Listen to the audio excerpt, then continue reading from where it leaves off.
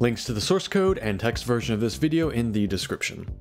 Godot comes with a variety of built-in collision shapes that are easy to configure, but sometimes you want something more like the artwork representing it, and drawing individual collision polygons by hand can either be a hassle or just not a good fit for you, especially if you want to take a more programmatic approach. But Godot does come with options for generating collision polygons from an image both in the editor and via code. Let's take a look. So let's start out with the happy path. You have a sprite that won't change at runtime and want to get a collision shape that matches the artwork. In this case, we can use a tool built right into the editor. Just select your sprite, select sprite from the viewport toolbar, and select create collision polygon 2D sibling. This will open a window showing your sprite and the collision polygon Godot will generate. You can adjust the shrink and grow factors if you want a buffer within or outside of the shape, but simplification is the real star of the show. This value adjusts the level of detail in the resulting polygon. Higher values generate a simpler shape, while lower values generate a more defined shape at the cost of more vertices. Play with this until you have a value you like, selecting update preview as necessary to see your changes in this window, or even just generating a polygon and looking at it in the editor since this process is generally quite fast. Once you hit create collision polygon 2D, you'll have a new collision polygon at the same level of the active scene as your sprite.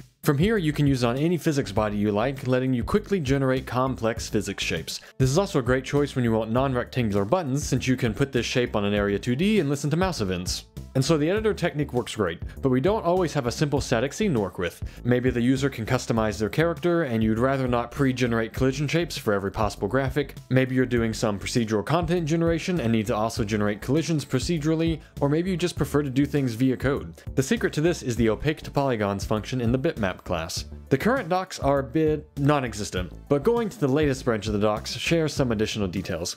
This function takes the data in a bitmap object and generates polygons to cover the area desired with a given level of detail. So all we need to do is get our data into a bitmap object and we're good to go. And while you can generate the data manually, let's instead just look at how we can get the data from a sprite into a bitmap.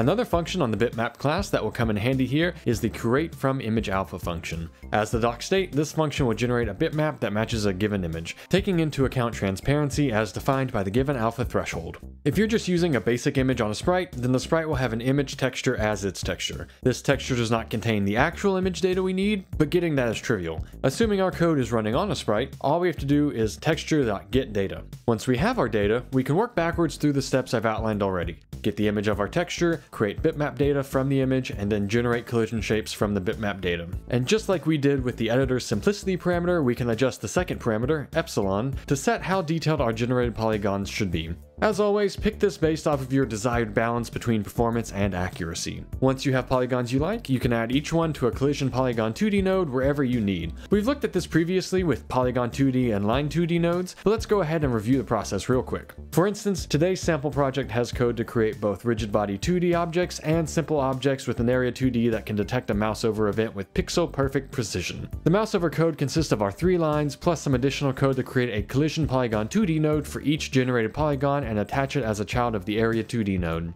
This technique also works very similarly when you're working with rigid body 2D nodes, so check out the sample project if you want to see what that looks like. And one other final thing to note is that while this method does handle concave objects, it does not handle objects with holes in them, such as this cog. If you need holes to be represented, you can use the first parameter in opaque to polygons to define regions of the bitmap to turn into polygons, and then piece these chunks together, but that's left as an exercise for the viewer.